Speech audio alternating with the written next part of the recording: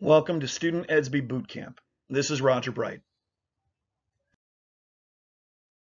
Lastly, we'll cover how to submit an assignment online to Edsby that you created with pencil and paper. If your teacher has given you an assignment to be submitted online that you completed using a paper and pencil, that's easy to do. First, take a picture of the assignment. If it has two sides, take a picture of each side. If three, then three, and so on.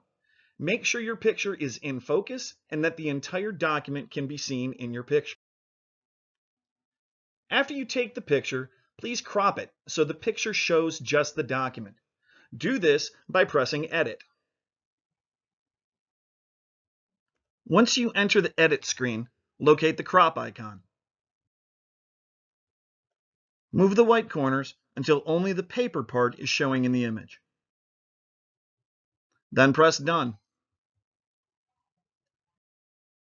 To upload the assignment, go to the assignment on Edsby. Then press the paper icon on the assignment. This will open the window you see below. Press Photo Library to access the images of your assignment.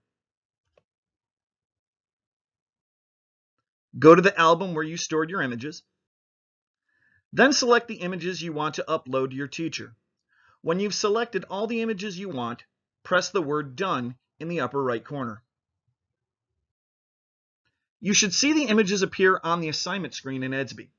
To submit them, just press the blue Submit button. In this case, a document was already submitted, so the button says Resubmit. This allows you to send an updated version of an assignment if you find an error or want to do a better job. I hope this helped.